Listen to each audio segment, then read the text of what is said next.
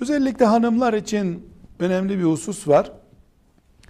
Ee, hanımlar e, organlarına ıslak bir şey soktukları zaman e, tedavi maksatlı, kontrol maksatlı e, bu bir ıslaklık e, yani erkekte de e, taharetlenmede olabilir.